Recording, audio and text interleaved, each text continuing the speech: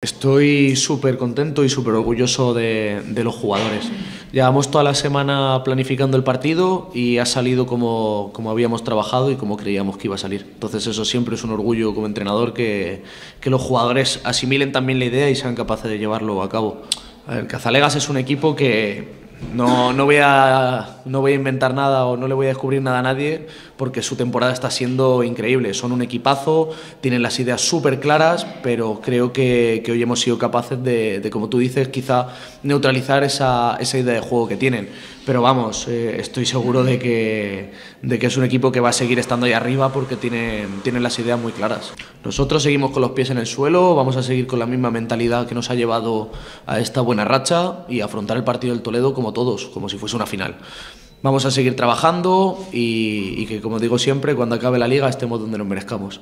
Yo me he criado, yo aunque soy Getafe, me he criado en Toledo, toda mi familia es de allí, entreno en la cantera del Toledo. Es un partido que, que personalmente pues, me, hace mucha ilusión.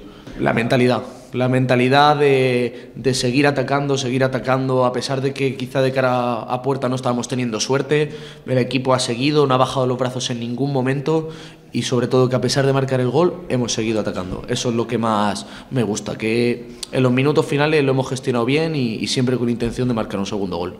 Hombre, la, de Pimentel es una baja que, que siempre es importante, la quinta amarilla de Lián, la roja de Aris, que, que lo recuperamos este fin de semana.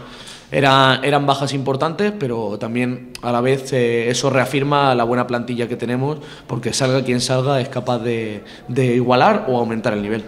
Es una barbaridad. La, la, sensación de cuando estás en el banquillo y les escuchas animarte, les escuchas protestar, es que, es que te lleva, te lleva, te hace no bajar los brazos un solo momento y, y sentir que, que, tienes que seguir haciéndolo porque no puedes defraudarles.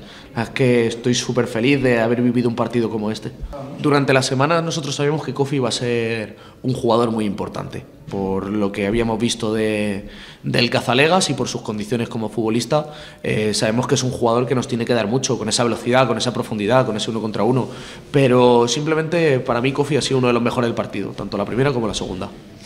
Bueno, eh, Cazalegas imagino que se esperaría que presionemos arriba. Vosotros sabéis que, mi forma de entender el fútbol es viviendo en campo, en campo rival y tratando de, estar allí el máximo tiempo posible.